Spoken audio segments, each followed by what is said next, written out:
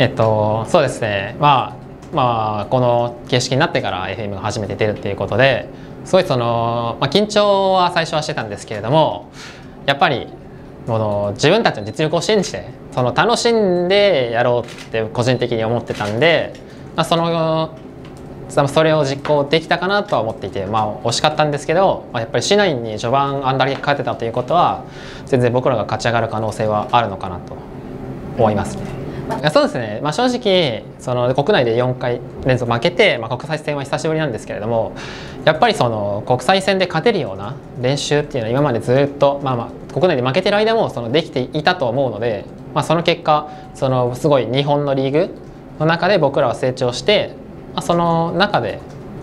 それを見せられるんじゃないかなと思いますね。そうですね。えっとまあ正直その1戦目は結構そのやっぱりメンタル的に緊張してる部分もあって1戦目勝てればそのどんどん次の試合もいい感じにできるなって思ってたんですけど実際結構序盤メンタルからくる変なミスが多かった中で、まあ、カブブにまあ最後逆転勝ちしてきて、それで結構みんなメンタル的にその気楽になったかなと思っていて、まあ、そのあそうなった結果その C9 との戦いはすごい自分たちのやりたいことを全面的に出して、まあ、ミスもあったんですけれどもそれでも惜しいと言えるところまではいけたと思っているんで、まあ、このまま調子を維持して本当に C9 のとの次の戦いも勝ちに行く気持ちで臨みたいですね。正直あの僕そのあんまり日本のフェイカーって言われる 僕はそのなんか好き好きじゃないというかなんか自分なんかがっていう思いが結構あってでプレイスタイル的にもそんなにフェイカーと似てるわけでもないし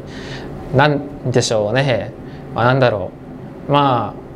そのまあ単純に、まあ、フェイカーと同レベルだとは僕はさすがに思えないのもあるしスタイル的にも違うからまあなんかちょっと変な感じはしますね呼ばれることに関して。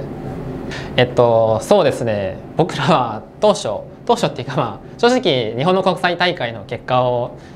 考えればもう本当に一日勝するだけでも日本の人たちはその盛り上がってくれるとは思うんですけど正直そこじゃなくて本当にもう予選予選突破してそのグループステージに行くところまで僕らは正直見ているので、まあ、それを達成したいですね。